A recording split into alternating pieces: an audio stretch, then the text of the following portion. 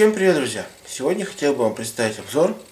Обзор модели немецкого ночного истребителя до 215B5. Вот наша модель, наша коробочка. Первое, на что хочу обратить внимание, это хороший, красивый, красочный бокс-арт. Далее мы открываем коробочку. У нас коробка из плотного картона. В коробке у нас пакет с литниками, инструкция и декаль. Сейчас коробочку берем. Давайте начнем обзор с декали. Декаль у нас выполнена на новой бумаге. А7 сейчас печатает декали на новой бумаге. Это спокойно декали они переводятся и никаких проблем с ними уже нет. Как было на старых моделях. Сейчас все отлично. Далее будет обзор инструкции. Инструкция выполнена в виде журнала. Журнала формата А4. Первая страница у нас глянцевая, все последующие матовые. На первой странице у нас краткое описание технических характеристики самолета. Цвета в палитре. Револотомия. Сейчас я вам приближу. Вдруг кто-то будет покупать, вы можете сразу заказать эти цвета в магазине. Будет удобно. Вот такие цвета. Далее.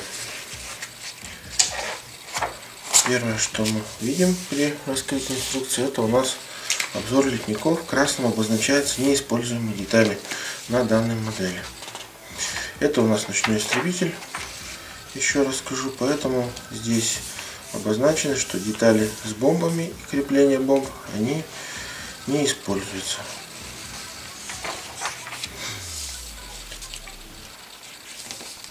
Ну, начало сборки по традиционно у нас начинается с кабины.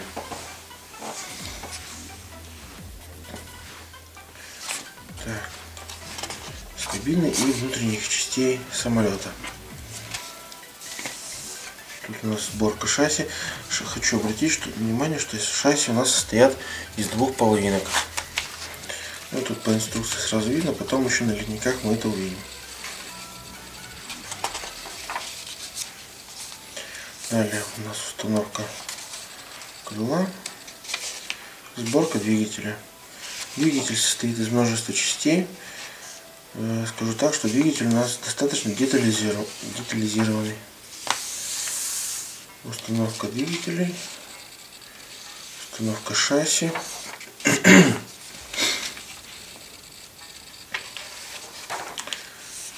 Далее у нас идет предлагается установка створок вот этих э, в открытом и закрытом положении. Тут по желанию моделиста уже у нас происходит. Ну, при открытом положении тут как бы бомб по сути нету и показывать нечего, то есть можно сделать его в закрытом положении. Но так как внутренности там самолета они тоже, ну, детализация какая-то есть, с другой стороны, тоже может быть интересно оставить их открытыми. Так, это у нас установка мотогондол на крылья. Далее установка фонаря. И тут еще установка, это получается как бы антенны на нос и установка носа самолета. Дальше у нас последняя страница, это у нас готовая 3D модель и показаны у нас варианты окраски. Это у нас верх и низ самолета указан, ну, чтобы было понятно с номерами цветов. И здесь у нас показаны два варианта. Первый вариант это у нас э, Дранье весна 42 года и Дранье осень 41 года. Не знаю кому как, допустим, мне более понравилась вот эта это вариант, который он указан же, он же указан на боксарке. Так, это цвет А. Это, да, черный цвет. Необычный самолет в черном цвете.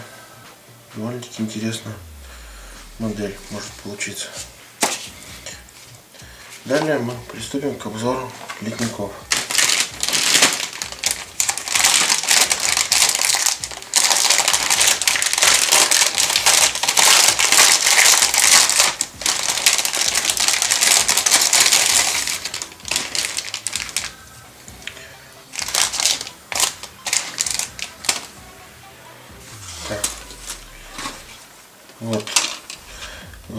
Можете обратить внимание на размеры самолета.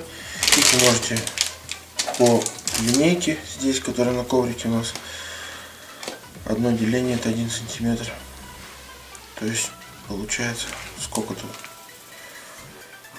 10, 15, 20, 25 сантиметров будет ширина самолета. И длина 20, 21 сантиметр длина. То есть ну да, интересная модель. Далее приступим к обзору летников. Первое, на что хочу обратить внимание, на расшивку. Так как я собирал уже похожую модель у компании 7, это Даренье до 17Z2, то могу сказать, что тут расшивка, она сделана, как многие говорят, ой, она маленькая, ну, что может залиться. Я делал, я собирал, ничего не было залито, смывка по расшивке сделана была прекрасно. Расшивка сделана очень хорошо и отлично. Пролито все хорошо. В этом плане здесь все отлично. Далее. А, ну, скажу, что про Следы толкателя у нас находятся внутри крыла, то есть здесь каких-либо дефектов на модели нет. Далее, следующий у нас литник, это детали фюзеляжа. Мелкие детали пролиты хорошо, облоя нет, это очень хорошо. Далее вот наше шасси, которое выполнено из двух половинок, как я говорил. Ну и так все здесь отлично. Следующий литник это у нас это два одинаковых литника, поэтому я сделал обзор только одного. Это обзор с деталями двигателя. Вот наш двигатель, как я говорил, он достаточно детализированный. Очень интересно модель, что в 72 масштабе двигатель он сделан детализированный тоже может интересно получиться модель при сборке на мелких деталях облоя отсутствует следы толкателей находятся внутри каких-либо дефектов на модели на данном литнике нет и два последних литника это у нас литники с прозрачными деталями Прозрачные детали у компании 7 выполнены вообще отлично. Все модели, которые я их видел, просто суперские. Вот эти стекла, остекление у них, оно отличное. Также и на данной модели. Все сделано хорошо. При окраске, когда вы сделаете все, через данное остекление будет видно полностью внутренности кабины. Ну и хотел бы вам небольшое заключение. Данная модель выполнена отлично компания 7. При сборке каких-либо проблем она вам не доставит. От сборки вы должны получить только одно удовольствие. Очень интересная модель. Вот, всем спасибо за внимание. Ждайте наших следующих обзоров. Пока.